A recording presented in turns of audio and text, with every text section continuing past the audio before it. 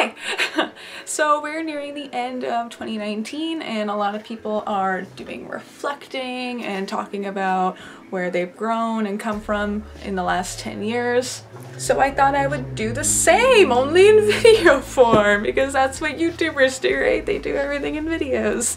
Mostly because I haven't done a video where I sit down and just talk. Uh, I mean, I have, you're never gonna see them because I didn't like them and I'm gonna force myself to upload this even if editing it is a bit of a chore. But like I said, so I've never made a video where I sit down and just talk, but I've also never properly introduced myself on this channel and I have a decent amount of videos now and I'm kind of uploading them a little bit more regularly. So hi, my name is Cassie. I'm an artist, I'm hard of hearing, I am doing the YouTube thing now, I guess, or trying to. I mean, chances of this taking off are very, very slim. so let's see, in 2009 I was 16 years old and at that time my life completely fell apart. and then it proceeded to fall apart about, for about like three to four years. it was a lot, it was a lot, and I'm not gonna get into too many details because they're not cute. By the way, if you hear any background noises, that's the washer and dryer. It's like right over here. My, my room is weird. Like I said, I'm not gonna get into too many details about it because it's all very, very personal and sad. But my parents basically split up in 2009 and I pretty much fell into a really bad hole of anger, depression, suicide, manipulation, abuse. It just really wasn't a good time. I was also homeless for a little bit and I wasn't eating because I didn't have access to food and I'm already a very small lady. So you can imagine not eating regularly made me a lot smaller. I, I was not in a good spot at all. In 2012, I moved back in with my mom and basically started to try and haphazardly sew my life back together. And I spent about a year, year and a half, two years healing mostly uh, from all the trauma that I had gone through in the past couple years. And I say I spent that time healing, I'm still healing. Like it's gonna, it's a lifelong process, um, healing from trauma. But that first year, two years were pretty important. They were pretty substantial because I, all the wounds were still fresh and I had to basically relearn how to deal with normal life situations to give you an example, I basically, if there was a problem that I had to face, if it was a very serious, serious problem, uh, I didn't really have much of a reaction. I usually handled it like pretty straightforward like high stress situations I was a little too used to whereas if I spilled a glass of milk or if someone told me to do something that made me anxious it was like a full-blown like anxiety attack sobbing and stress like it was it was bad. And I basically had to relearn how to deal with normal life situations and get myself back to a normal mental area. I also ended up getting a job my first year when I uh, got out of my terrible situation. And it was my day job. I still have it. Don't care for it because really who likes their day job? Um, but it helped me get normalcy. I you know I fell into a routine. It was good. Even though I don't like my job, it's good in the sense that it keeps me distracted. Jobs are good in that way, you know, especially if you've gone through a lot of trauma or you have mental health problems or any kind of like thing like that where your brain is always loud. Having a kind of a just normal day job is good in that it distracts you for a while. Like you're not always in your head and that at least for me that's how it, it, it was really good i didn't know it too much when i first started because i was constantly freaking out about everything but it did help me in the long run and it also got gave me money and I I like money. After about that first year or two of getting readjusted to normal life, I started drawing again. I've always drawn. I've always been an artist. That's the thing that's been the most consistent about me throughout my life. But when I was in those unfortunate situations over those last few years, I fell out of it. If I did draw, it wasn't that much. Um, it was just, it was just too much. And so I fell back into it, which was really hard actually when I started drawing again because I felt stunted. You know, I hadn't drawn for so long and because of all the things I was dealing with that when I got back into it, I wasn't happy with the stuff that I was making because I felt like I should be better.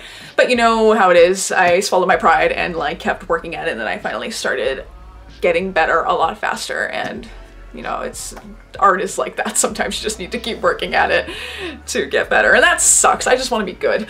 So because I was dealing with so much insanity at the time, I didn't get to go to college straight out of high school like a lot of people typically do. I actually didn't get to go to college until I was 23 years old. Mostly because the thought of being stuck in my day job for the rest of my life was an actual nightmare. So once I started getting thoughts like that, I was like, I need to, I need to do something else that is not my job because this is not what I want to be doing college is a real good place to like feel like you're achieving something, even if you don't know what you're achieving. But I knew what I was achieving. I knew what I wanted to do. I wanted to be an artist, so that's what I was in school for. It's what I'm still in school for. It took me a long time to go back to school though, at least longer than I wanted to, because when I actually first moved back, back in with my mom, she gave me the choice of going to school or going to work and I chose work because I needed money and work experience anyway and I knew at the time my mental space was not going to cut it for school. I wouldn't have been able to handle it and by the time I was 23 I knew I was healthy enough to be able to be in that kind of situation. And you know in reality 23 really isn't that old. it's not it's not. but it really feels that way, especially when society tells us, oh, you have to go to college right after high school, otherwise you're a mess. But, uh, you know, I, I was just like that, that anxiety of being stuck in my day job. I was like, I, I need to go, I need to be in school. and like I said, in reality, it's not that old, but it really feels that old, especially when you're surrounded by a bunch of 18 year olds and you're stuck doing group projects with said 18 year olds and none of them know how to time manage, so you're left being in charge with everything. It's not fun. Now, on one hand, going back to school at a later time in frame was a good thing because, like I said, I was able to have healed a lot more uh, compared to where I was way before. Uh, when I went back home, I think at about like just before I turned 19, so I think I was still 18 at the time, you know, I was able to handle the stress and responsibility of school and I wouldn't have been able to do that before. But also because by the time you reach your 20s, you kind of have a decent idea of who you are, what you're capable of doing, and what you want to do. Uh, much better than um, when you're fresh out of high school. And that that varies. I'm unique in the sense in the sense that i'm one of those people that has always known what they've wanted to do with their life. I've always wanted to be an artist. There was never any if ands or buts about it. I've had other interests and stuff that i thought about pursuing outside of art but it was just i wanted to draw. I like drawing. I like art. I like creating things. Um, whereas there are people like my younger sister who's kind of bounced back and forth her entire life uh, going from one thing to another, trying to decide what she wants to do. And that's completely fine. Everyone's different, everyone has their own journey. But that's why I think that sometimes going to school a little later, um, when you kind of know who you are a little bit more, is good, which is just my long-winded way of saying if you want to go back to school when you're in your 20s, do it because at that point you you're determined, you know what you want to do. You're not young and you're like, I don't know. On the other hand, I do still have the crippling fear and anxiety of I'm so far behind everyone in the race to success. And it's worse when people my age already are in careers that I want, that I'm striving for, that I'm in school for. And that's very disheartening and it's just a symptom, honestly. It's something that you just kind of have to deal with, unfortunately. Um, I'm still working through those feelings every day. Sometimes I feel better about it, sometimes I don't feel so good about it. When I look at the big picture over the last 10 years of my life, it's like I don't really feel like I achieved that much, I suppose, when in reality I achieved a lot. You know, I achieved more in the sense of personal growth and healing and stuff like that, which honestly is almost harder to do than trying to get a job in your field of study because it's a ongoing process. I'm never going to be able to stop healing and growing. I mean, as a human being, we're all like that, but just all the trauma that I've gone through, you know, that's always going to be there. I'm always going to have to deal with that and take responsibility for it. And honestly, despite all the bad stuff that I mentioned, albeit in not as much detail, a lot of good happened to me in 10 years when I really like looked down at the details of everything that's happened. Like, yeah, there was a lot of bad stuff, but that was like so early on and it was only for a certain amount of time, whereas the rest of it, I had a lot of better things going on. Like, uh, actually in 2009, the year my life fell apart, I met my best friend who I'm still with today. And honestly, if it wasn't for her, I wouldn't be here today because she pretty much is the reason why I stayed alive. After the healing, after like, I think it was about a year or two after I started healing that I met my other best friend who basically helped me heal even more, gave me the tools I needed to do better and learn better and just get better at dealing with my feelings instead of dealing with them every single moment that I had them.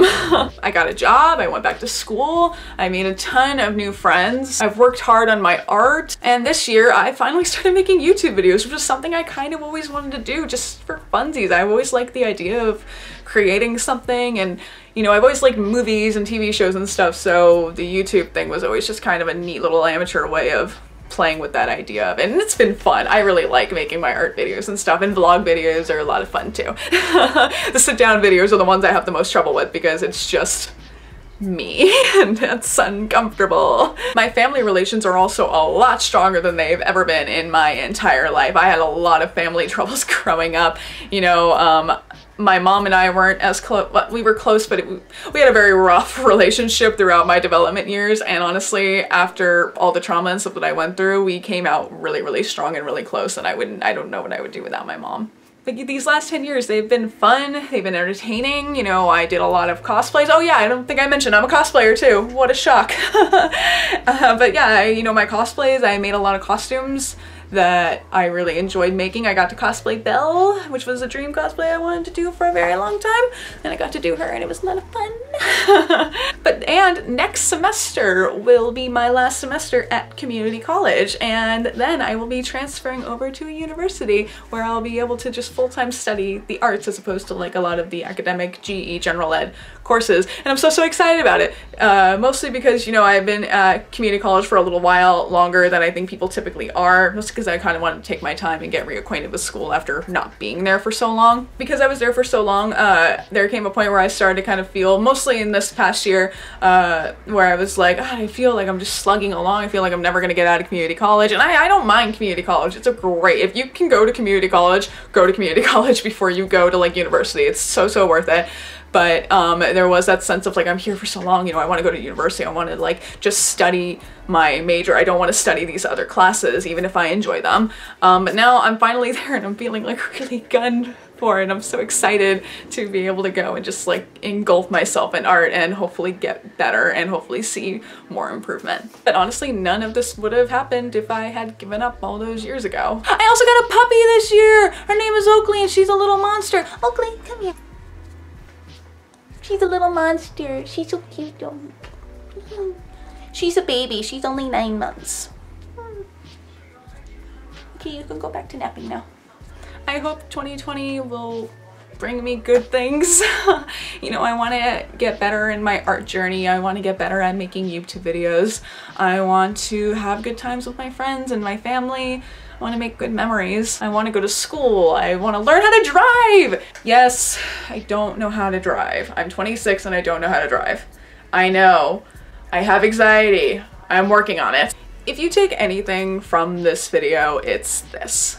Like I said before, it can be very easy to get lost and not see all the things that you've achieved in the last 10 years. And it certainly can feel like you haven't achieved anything in the last 10 years. It certainly feels that way for me. That's more especially if you look at the big picture. When you really look down into the details, you'll find that you've probably achieved more than you realize. I feel like I didn't achieve nearly as much as I wanted to because there were certain goals that I wanted to achieve and I couldn't do them. But why couldn't I do them? I because I wasn't in the right space for it. I had to achieve more healing and personal growth and get myself to a place mentally so that I can achieve the goals that I want to. And I'm finally in a place where I'm able to do that. Like several years ago, I wouldn't have been able to film a YouTube video or even consider it because I was just so like in my head. That's a medical term, by the way.